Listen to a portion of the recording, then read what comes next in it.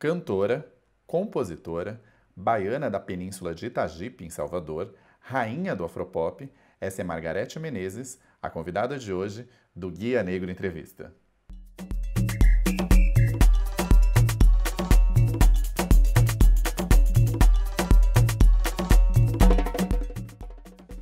Tem uma frase de uma música que eu adoro, da Bahia, que é assim, que fala que é, sou faraó e o Egito é a Bahia, né? Ah, sim, é, é Brau, é Brau. Brau que fala isso. Então, se, é, se o Egito é a Bahia e você é a rainha, você é Cleópatra, é isso? Não, meu Cleópatra não. Cleópatra deu, botou a cobra lá pra morder ela, vou lá botar a cobra. que nada, sou frouxa demais pra isso aí. Não vou me matar mesmo, quem quiser que me mate. não, eu sou rainha de Sabá, velho. Aí, é autoridade. Maravilhosa. Margarete, queria começar o programa te agradecendo, é, dizer que sou muito fã do seu trabalho, que queria estar fazendo essa entrevista pessoalmente, mas infelizmente esse momento não está permitindo os encontros presenciais, né? Pois é, né? Eu agradeço também o convite, viu? Para mim é um prazer, tá? E, e, no que eu puder contribuir, né? Com alguma coisa que eu, que eu saiba. viu? Mas obrigada pelo convite mesmo aí, tá? Você e toda a equipe. Margarete, você se auto-intitula Rainha do Afropop. As pessoas na Bahia te intitulam Rainha do Afropop, na verdade, né? Esse termo Afropop, ele também foge de, dessa vertente de, de, classificar toda a música da Bahia que, é, como axé, por exemplo? E o meu som, meu conceito da música que eu faço é Afropop. Não só o que eu faço aqui, como vários outros artistas que têm essa mesma, é, essa mesma identidade, que são essas as nossas claves afro-brasileiras com a o comportamento pop da pesquisa da música pop, né? Tanto o afro como uma uma identidade musical, ele existe, como o pop também, né? A gente identifica, né, a música afro, a música pop e é natural que exista também essa essa fusão afropop brasileiro, né? Quer dizer, afropop, African pop existe no mundo inteiro. Tem grandes artistas do African pop, Angelique Cadígio, eh, Salif Keita, é, Sheikh Khaled e outras figuras mais recentes, né? Também nessa mesma linha, né? Então, a música que, no caso, eu faço, e não só eu, como eu falei, várias pessoas da minha geração, é, da Bahia, de Pernambuco, é afropop, porque tem as duas, as duas esse cruzamento de é, identidades né, musicais, de comportamentos musicais. Né? Então, o afropop não é uma coisa, uma alegoria, nenhuma, um rótulo de generalização. Ele é um rótulo conceitual, é um conceito de trabalho. Então, desde 92 que a gente que eu trago essa pesquisa dentro do meu trabalho, né? E é a minha identidade. Eu fui o que acontece é o seguinte, que eu fui a primeira artista, eu acho, que trouxe para discussão essa, esse termo como uma como esse rótulo como um rótulo de identidade musical mesmo, né? Eu acho que na, na questão de você reproduzir a arte, né? É muito natural que você reproduza aquilo que você respira, né? Porque a pessoa nasceu Vai fazer o quê? Vai fazer rock? Vai fazer o quê? Vai fazer. Né? Agora, com todo respeito e dando nome às fontes, né? E você sempre fez uma inovação nas suas músicas de colocar dessa, dessa pegada eletrônica, né? Você foi uma das precursoras. Que outras inovações você trouxe para o estilo afropop, por exemplo? Olha, é, não é que como é que, que se dá isso, né? A da nossa própria contemporaneidade, né? Então, no começo da minha carreira, 92, 98, desculpa, 87 eu gravei Faraó, 88 foi o Elegibô, né? Uma história de Fá, que era um, um LP que tinham algumas músicas bem representativas, já bem diferenciadas nessa questão de, fusão rítmica, né?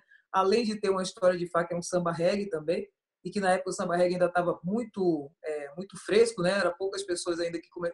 naquela época o pessoal estava começando a descobrir essa música feita pelos blocos afros da Bahia, né? Depois dos outros discos, é, um canto para subir, Quindala, e Luz Dourada foram cinco anos né, trabalhando com pessoas que foram muito importantes nesse desenvolvimento da música afropop na Bahia e no Brasil. Foi Ramiro Mussoto, Pedro Giolandini, que eram dois argentinos que tinham essa, essa trazia esse frescor da coisa pop e também entendia um pouco também da minha da minha própria é, rebeldia né, musical e Nestor Madrid, que era o diretor musical, era, meu, era meu diretor musical e foi o produtor disso, né? E o disco Kindala, né, que saiu em 94, é que nós usamos o Afro Tecnopop, né?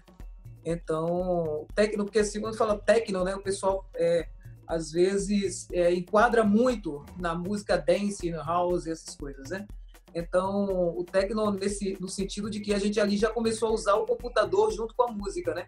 Em 94. Tem um vídeo recente da, da atriz Thais Araújo, numa live com a Ivete Sangalo, questionando a Ivete Sangalo sobre o fato de algumas vezes você não recebeu, o seu trabalho não recebeu o mesmo destaque que cantoras como ela. A Daniela Mercury também foi questionada uma vez por te amar, Maíra Azevedo, no evento do Mulher com a Palavra, sobre a mesma questão. Como que você acha que o, que o racismo impacta a, a, carreira de cantores negros na Bahia e no, no resto do Brasil? Ah, nem Ivete nem Daniela têm responsabilidade sobre isso.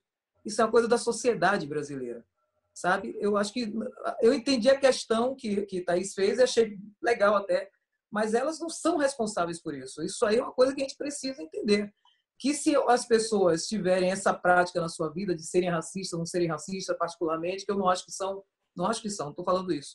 Isso, esse questionamento a gente tem que fazer a indústria da música.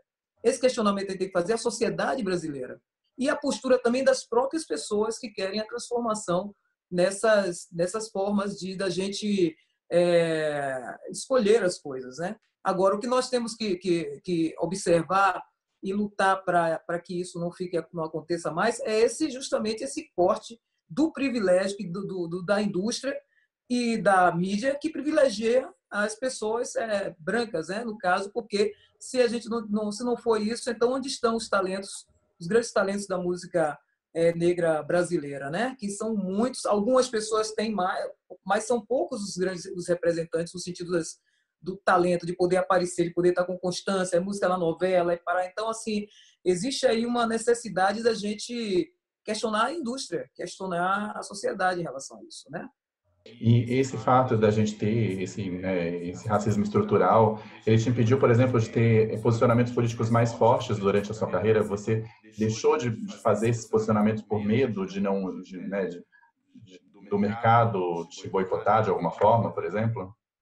Você, se você olhar o que eu gravei, você vai ver que eu sempre me posicionei, né? Então, assim, eu não tenho, eu, eu não sou uma, uma ativista política, eu sou um artista. E dentro do meu trabalho você vai ver que o assunto da questão racial ele sempre está tocado. Né? Eu sempre tive uma, uma, uma, postura honesta em relação a isso, digna em relação a isso. Né? Eu, todas as vezes, para todas as pessoas que eu prestei meu serviço, né, no momento da minha contratação como produto de mercado, graças a Deus, eu tenho muito mais legados positivos do que negativos em relação a isso. Então, eu acho que eu não tenho que justificar em relação a isso, porque eu, eu tenho uma coisa que está escrito pelo tempo e pelas minhas próprias ações, está escrito nas imprensas, na vida. Então, em nenhum momento eu me senti é, omissa, muito pelo contrário. Eu, assim, já, já tive muitos problemas por eu me posicionar em relação a várias coisas. Em relação à questão da mulher, em relação à questão da má colocação da, da, da do ser humano, né, de músicas que falam de uma, de uma maneira é, pejorativa em relação a isso eu nunca cantei. Então já tive isso ao longo da minha carreira várias, né? Já fiz, já participei de várias campanhas em defesa de direitos humanos, de jovens, de crianças, de negros, de, de mulheres. Então eu, isso está escrito na minha história. Você própria é uma empreendedora, né? Você ficou sem gravadora por cinco anos e você criou o próprio selo quando isso aconteceu, né? Pois é, então aí é justamente, né, mostrando também que a gente eu nunca fui uma pessoa que me é, que fiquei compactada numa, sabe, não, aquele não, nunca me paralisei diante das coisas, né? A gente falou antes de começar a gravação do Bloco Mascarados, né? Eu tive o prazer de te ver esse ano lá no Carnaval de Salvador. Lá atrás você chegou a deixar o bloco em algum momento. Você teve medo naquele momento de ser taxada como musa, musa gay ou, ou, ou algo do tipo? Não, não foi isso. Eu que cada artista aqui, eu acho que cada um tem o seu caminho, né? Então já tinha 10 anos já. E eu estava com o meu movimento afropop brasileiro nascendo naquele momento, né? Então foi uma opção mesmo para dar uma, uma direção àquilo que eu consigo, aquilo que eu representava, o que eu represento na minha vida, que é a música, né? A minha identidade, o que me leva para o carnaval, o que me leva a estar em todos os lugares é a música. Você também está à frente do, do mercado Iaô, lá na Ribeira, né? Esse ano o mercado, infelizmente, não recebeu os patrocínios devidos e, e, o, e o, carnaval, enfim, pré-carnaval ali no mercado que você realizou em 2019 e em outros anos de forma brilhante, não conseguiu acontecer. É, a música feita por artistas negros, por blocos negros, ainda tem dificuldade de receber patrocínios na cidade mais preta do Brasil? Por que isso acontece, Margarete? Por que, que o racismo acontece no Brasil, você sabe? Amigo, e assim, é, não é uma coisa simples, a gente está falando de uma coisa muito, muito profunda, fala de estrutural. Eu também fiquei muito, é, achei muito interessante quando começou a aparecer esse termo, né? Racismo estrutural. O que, que é isso? Procurar saber, né? São um legado de né? 400 anos, 500 anos que o Brasil foi descoberto e essa coisa se impregnou. O racismo é uma forma criada para justificar a escravidão e depois disso tudo que aconteceu, tudo todas as, as a, a, injustiça e a, né, que, que o, o desinteresse, por assim dizer, né, pelo desenvolvimento do povo afro-brasileiro, né? Mas assim, no no mercado IAO, nós criamos ali um projeto de renda social, uma coisa bacana de comunidade também, né? É um projeto que tem essa, essa visão de um mercado é, colaborativo para artesãos, para lançamento de disco, para jovens artistas, fazendo coisas que a Fábrica Cultural, que é essa organização que eu, eu dirijo, eu sou presidente há mais de 16 anos, já viemos praticando ao longo desses 16 anos, né? Cursos para jovens, cursos para senhoras, cursos reciclagem de lixo eletrônico.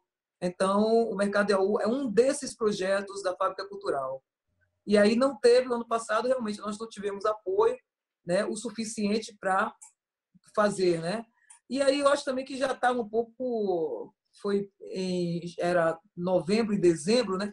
Janeiro, as coisas já estavam também, a pandemia foi chegando, aquela coisa ficou meio. É, engessou mesmo, né? Não sei se você sabe, mas quando a gente pesquisa seu nome no Google, é, na sequência vem uma pergunta assim: qual a idade de Margarete Menezes? Eternidade. e você passa uma imagem de muito jovem, de muita energia. O que você faz para se cuidar? O que você faz para se manter tão jovem e com essa energia tão forte? Mas olha, eu, olha, eu sempre, eu sempre tive um cuidado assim, com a minha saúde cedo, né? Eu tive uma, uma é, quase uma gastrite, né? Aos 20, 27, 28 anos, né? isso me, me forçou naquele momento a uma alimentação natural e tal. Eu entrei numa mesmo, assim, foi durante muito tempo que eu, assim, vegana, que não comia carne, né? Mas isso deu um norte, assim, na minha, na minha, minha vida muito, muito legal, muito interessante. Tem coisas que eu ainda preservo, né?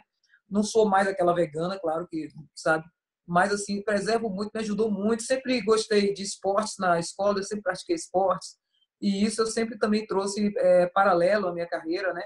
Sempre gostei de correr, de, de, de fazer coisas. Em algum momento é, engordo um pouquinho, mas depois eu tenho mantenho essa atenção e sou muito ligada a coisas naturais. Aí eu tenho uma, uma, uma, eu descobri um creme, creme de mulateiro. Mulateiro é uma árvore da floresta amazônica que ela é tida pelos, pelos povos da floresta como árvore da juventude. Aí estou dizendo, hein?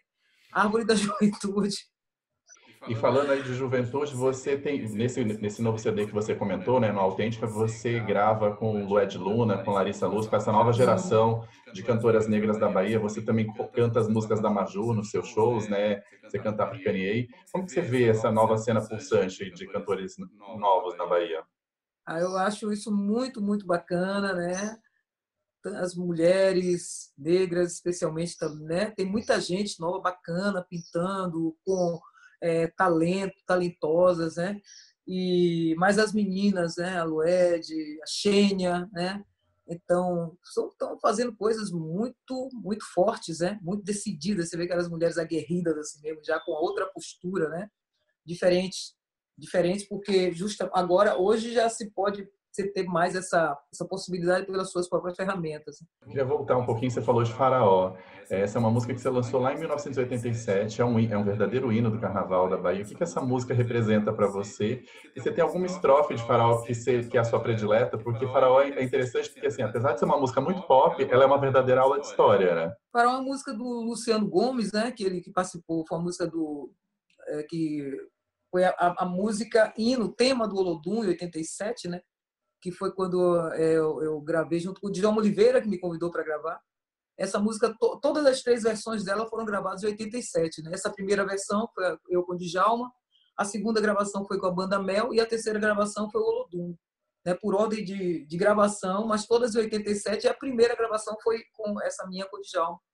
E é uma música que ela tem, assim, ela se tornou uma representatividade, foi o primeiro samba regravado no Brasil. Além de tudo, ela a, a, musicalidade dela, né, a própria coisa do refrão, aquele refrão aberto que chama as pessoas. Então isso se tornou um grande marcou, né, o ícone assim dessa dessa música contemporânea, né, do, do, da minha geração. E é uma música que fala sobre a história da criação, da visão egípcia, né, da história da criação. Né? Para uma música muito potente, muito potente. Engraçado como as pessoas gostam dessa música. Ela não passa, não, é, não passa não é por causa da minha causa, é por causa da própria música. Qualquer lugar, qualquer, qualquer lugar que você falar, eu falei farol, as pessoas respondem, né?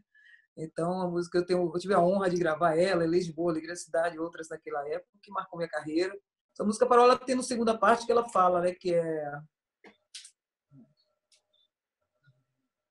Pelourinho, uma pequena comunidade que, porém, o Olodum uniu, unira em laços de confraternidade. Despertai-vos para a cultura afro no Brasil. Ao invés de cabelos trançados, veremos turbantes de Tutankhamun e as cabeças se enchem de liberdade. O povo negro pede igualdade, deixando de lado as separações. Essa, essa parte, essa coisa política assim na música, ela é forte, né? Que ela vem assim discursando sobre uma uma questão assim que na, na, na história contada né, pelos outros não fala desse legado né, do, do, dessas grandes civilizações africanas que houveram de grandes domínios, né, de riquezas. E aí ele aí fala sobre ele traz o Egito, né, como uma dessas grandes civilizações daquela época. E aí também aproveita e dá a mensagem da, da luta, né, da luta antirracista. Então essa música ela é uma música forte muito forte e muito potente e, é, e muito atual, né? Pois é, é ela, por isso ela não passa, mesmo. tem uma força muito grande essa música. Margarete, se você pudesse indicar um lugar de cultura ou história negra que todo mundo deveria ir pelo menos uma vez na vida, qual seria? Um lugar de cultura da história negra que todo mundo deveria ir? Na Bahia. Para que lugar melhor para vir? Mas que lugar da Bahia? Eu sei que, por exemplo, sua mãe, Dona, Dona Diva, ela é da Ilha de Maré. Ilha de Maré. A Ilha de Maré é um dos lugares mais lindos que eu conheço. É muito bonito mesmo. Ilha de Maré. Tem aqui também a região do Recôncavo, né? Que a Ilha de Maré também é Recôncavo. Mas Cachoeira e Santa Amaro, especialmente Cachoeira, né? Tem um legado muito importante na, na formação cultural. Toda aquela parte ali, Santa Amaro, Cachoeira, né? São Félix. Ali tem uma... Ainda guarda algumas memórias, assim, bem legais, né? E Margarete, o que é para você ser um corpo negro no mundo? É ser um ser humano, ser um ser humano que precisa é, lutar mesmo pra, pra, pelas suas coisas, acreditar na vida, é, se posicionar, se colocar no seu lugar de ser humano mesmo e a gente buscar essa, essa vitória. Né? Porque assim, é uma realidade da criação.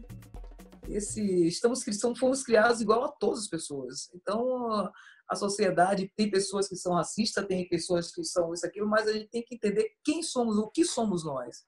Somos um igual. Então, a gente tem que se colocar nesse lugar também, dentro do nosso sentimento. Claro que são muitas dores, né?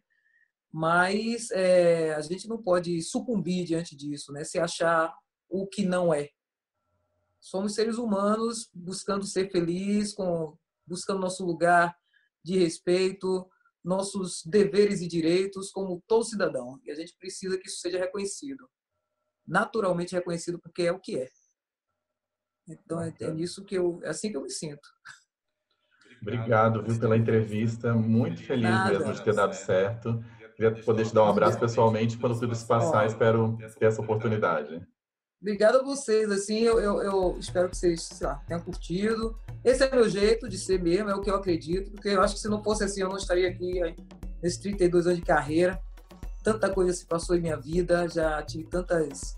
É, é, cair, levantar, e, sabe? Mas eu tenho essa fé. Tenho essa fé que, que na vida, fé no, no positivo das coisas. E aí é isso que me move. Bom, tá que eu fiz para Djamila Ribeiro. Lindo. Pode ser? Pode. Só na voz aqui. Foi no dia que eu entrevistei ela, né? Que eu fiz umas entrevistas depois da minha primeira live. De fé, capitã da geração. Sua espada é sua caneta, claridade é sua competência, ensinando ao povo pegar a visão. Deixa-me lá, Ribeirão de luz, para navegar nos mares do amor.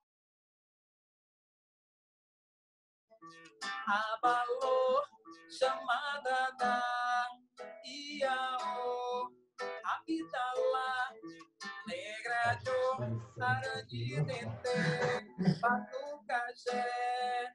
Se a gente tá vivo é porque Deus quer. Parará, papá, parará, parará, papá, parará, parará, papá, parará, parará, papá, parará,